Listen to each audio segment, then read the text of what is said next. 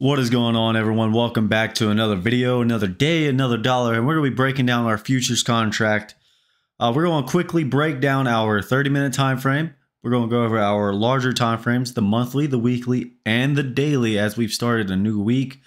Uh, and coming into the end of the year, end of the month, just kind of go over a few things there.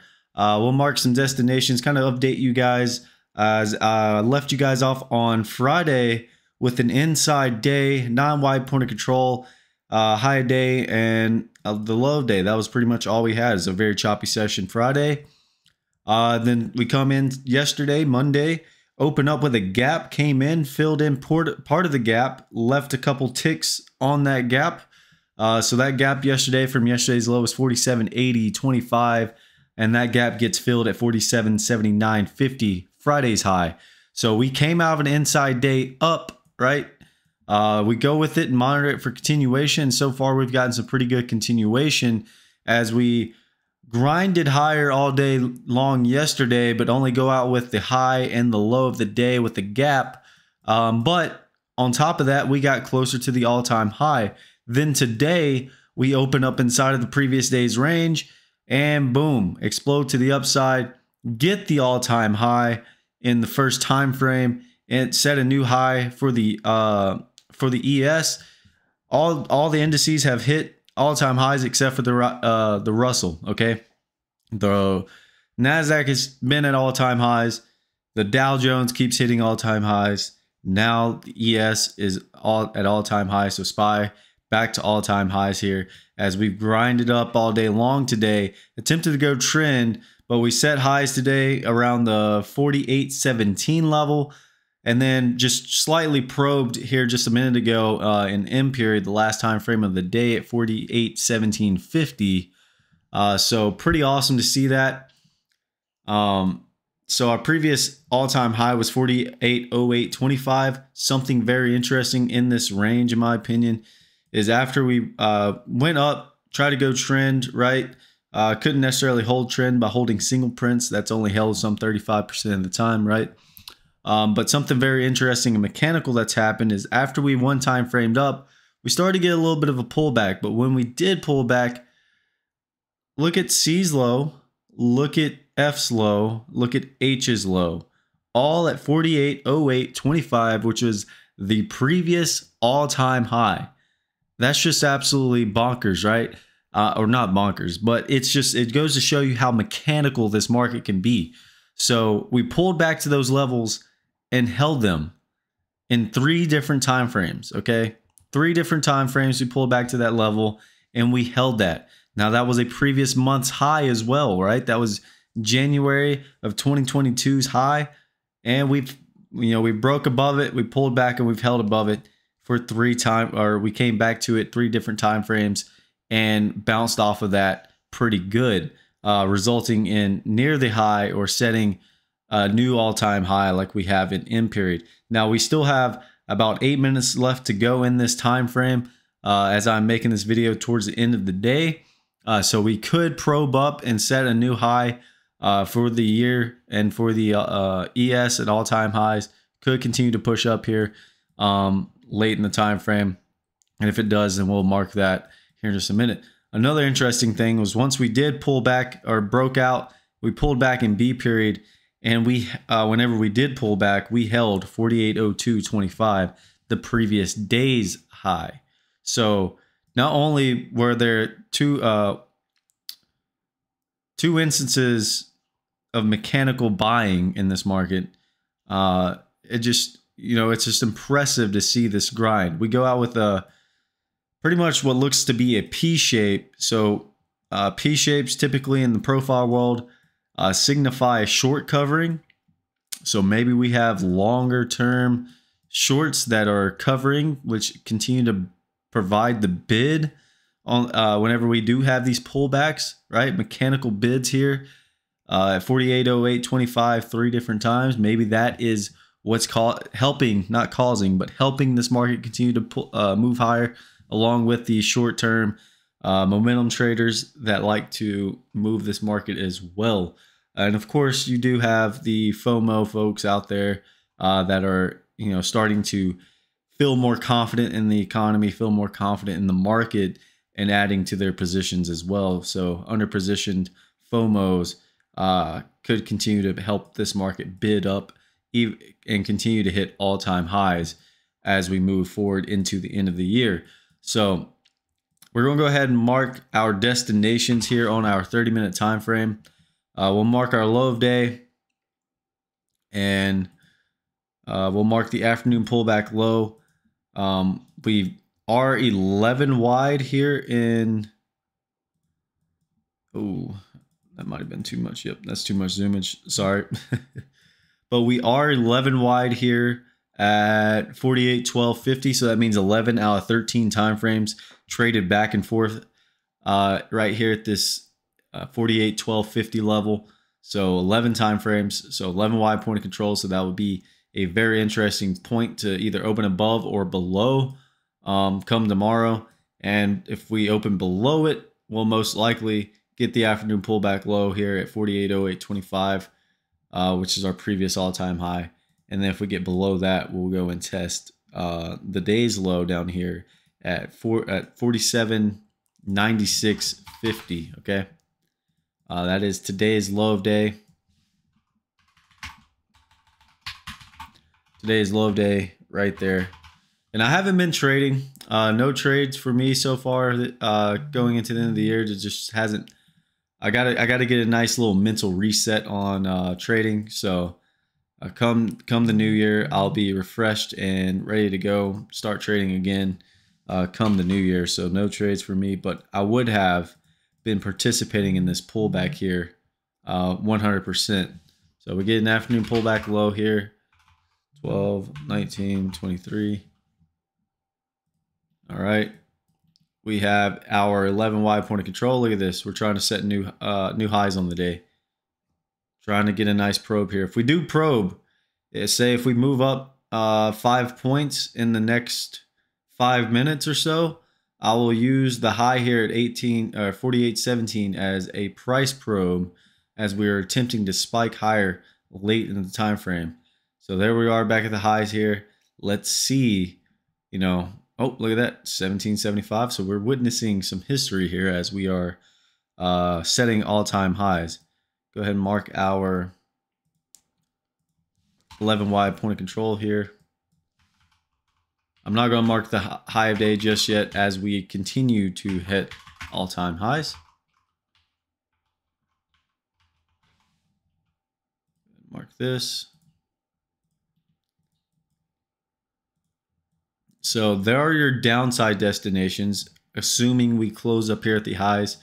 Uh, downside destinations are going to be 48, 12, 50, 11 wide point of control. Your afternoon pullback low, 48, 08, 25, where we have three week lows. So there will definitely be some stops there. If we do break below that, you will go and test the day's low down here at 47, 96, 50. If we get below that, we'll come back into a balance on the daily. And then your targets on the downside would be this gap.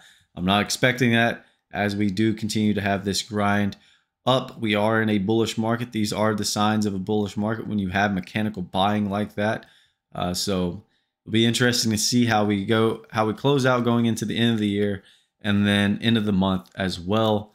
Uh, and then starting the new year, let's see if we uh, do what we did last year, right? We opened up in January, set all time highs in January, and then never seen that again for an entire year. So I hope that's not the case moving forward. Um, while this thing continues to creep up higher, uh, 48, 17, 48, 18, 75, not quite enough for me to say it's a price probe just yet.